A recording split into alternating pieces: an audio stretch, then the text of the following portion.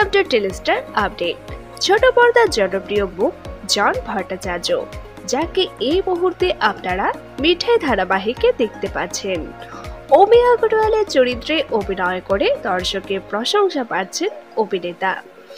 এর আগে তাকে রিমলি ধারাবাহিকে মুখ্য চরিত্রে অভিনয় করতে দেখা গিয়েছিল।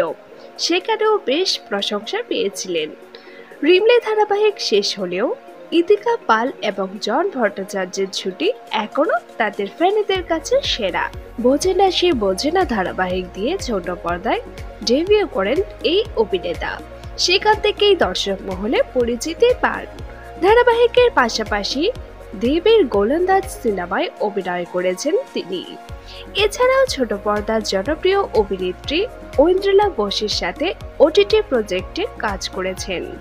শোনা যাচ্ছে আরও একটি নতুন প্রজেক্টে সুযোগ পেয়েছেন অভিনেতা।